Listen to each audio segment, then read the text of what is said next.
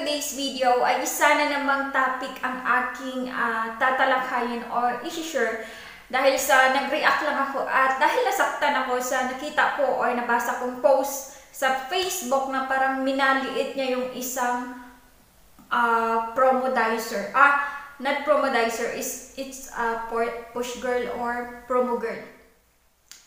Bago ko simulan ang lahat, Siyempre, magpapaalala ako kung hindi ka pa nakasubscribe sa aking channel, mag-subscribe ka na and click mo na yung notification bell para lagi kang notify kapag kami mga panibago kang video. Let's go guys! And simulan ko na para matapos na agad. so, ayun, nag-react ako dahil sa yung nabasa ko na sobrang napakasakit yung mga pinagsasabi ng uh, lalaki. Dahil sa parang binabash niya yung isang push girl or promo girl. Sinabi niya doon sa post niya na nakapag-graduate daw yung babae ng um, nakapag-graduate daw ng kolehiyo ngunit hindi daw ginamit yung a course na nag-graduate uh, yung parang natapos niya na kurso hindi daw ginamit. Bakit maging isang push girl lang daw? Para sa kaalaman ng lahat yung push girl ay mas malaki pa yung sinasahod kaysa sa mga nags, sa mga uh, worker from the government na regular worker ng gobyerno. Kasi kung iisipin mo magkano yung araw ng isang regular worker ng gobyerno, mas doble yung kinikita doon ng isang push girl or promodizer. Uh, push girl or promo girl.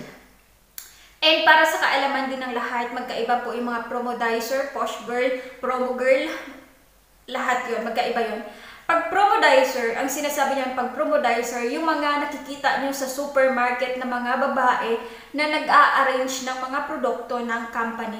Ya, ang tawag sa kanila is promodizer and paglalaki merchandiser.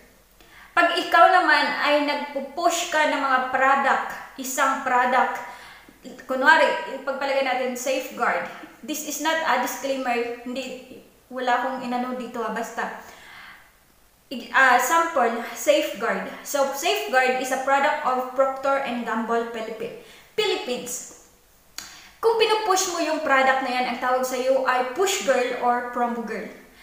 Pataasan kasi yan, may mayroong push girl, promo girl, brand ambassador, at may mga taas na product consultant. Siyempre, magkaiba yung sahod niyan. And product consultant, tsaka meron yung model, model ng product na pinopromote na uh, kunwari may mga event, may mga event na parang nag parang basta event na pinopromote nyo yung produkto nyo tulad sa mga uh, World Trade Center. Ano yan dyan, pagka nag-event yan dyan, mayroong model-modelan yung product. So, mas malaki yung bayad sa iyo dyan. Yung sinagsahod ng isang promodizer is only a minimum wage. So, nasa minimum wage sila.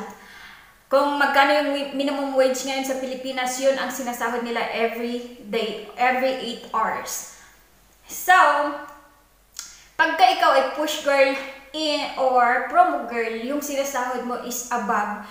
So, dati, kung ang dati ay minimum wage is 482 pesos, so ngayon ay tumaas na parang 600 na to or 500 plus. I'm not sure, pero tumaas na. Siyempre, of course, tumaas din yun. Kasi dati, kung 482 yung minimum, nagre-range yung promo girl or push girl ng 750 peso in above. Depende po yon sa company na uh, sa company, syempre kung sikat na company yung papasukan mo, mas malaki yung binibigay nila sa kanilang mga push girl tulad ng mga Procter Gamble Philippines. Syempre mga sikat ang mga yan. So malaki yung mga binibigay nila dyan sa kanilang mga push girl, promo girl, promo girl, malaki yung mga bayad nila dyan. At ang uh, at syempre, ang product consultant, malaki din yung binabayad nila dyan. At yung model-modelan, dat, kung dati binabayad nila doon sa, yung sa Eden na ano, dati yung model-modelan sa Eden, 3,500 a day yung binabayad nila. So, imagine, Dati pa yon how many years ago na. So ngayon tumataas na, siguro ngayon ay 5,000 mahigit na a day. So imagine that kung ikaw ay nagtatrabaho lang sa isang regular na employ, empla, empleyado sa gobyerno, mas malaki pa po yung sinasahod sa inyo ng isang push girl.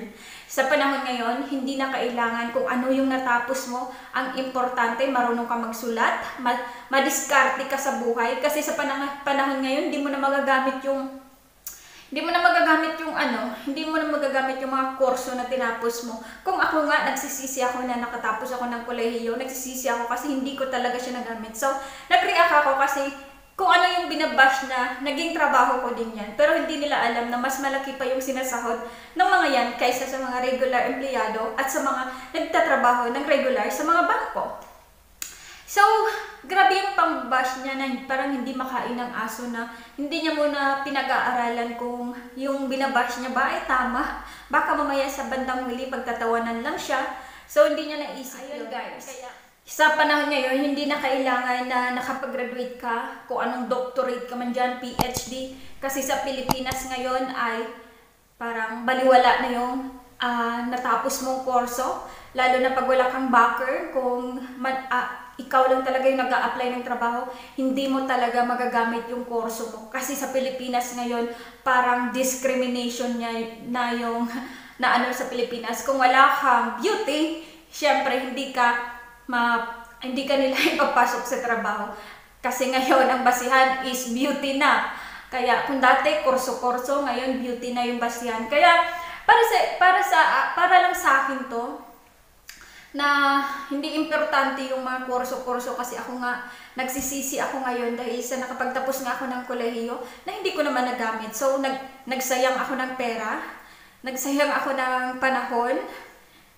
Kaya ayan, kung nagtrabaho na sana ako noon, kahit katulong, at least malaki at marami na siguro akong naipundar or matagal na siguro akong naging for good for the sa Pilipinas. Kaya kaya sa panahon ngayon diskarte at syempre kahit elementary graduate ka, high school graduate ka, as long as madiskarte ka sa buhay, aasinso ka. Mas aasenso ka pa sa nagtatrabaho sa mga gobyerno or sa mga bangko or kung sino yung nagbabash na yun.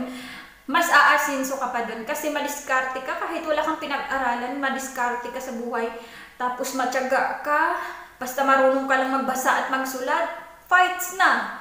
Hindi mo na kailangan yung mga doktor, doctorate, doctorate, PhD. Kung hindi mo naman magagamit yan sa ano kasi sa sa panahon ngayon every year ang daming nagagraduate na mga tao. So sa lahat na yan ah, sa tingin mo ba makakapasok lahat sa trabaho yan? Di ba hindi? Kaya ang importante ngayon ay diskarte, hindi mo na kailangan yung mga mga to the highest level na ano na ay gusto kong maging ano tapos after at least hindi ka naging tambay, marangal na trabaho yung trabaho mo. Kaya yun lang guys at high blood na ako. At saka yun lang guys. So sana wag, wag nating i-ano yung mga tao na nakapag-graduate ng ano as long as marangal yung trabaho nila at madiskarte sila. Kaya kaysa naman naging tambay ka, nakapag-graduate ka ng malalaking ah, ano tapos tambay ka, syempre mas ano yun, at least yun may trabaho. Kaya huwag niyo maliitin yung mga ganong trabaho kasi mas malaki yung sinasahod nila.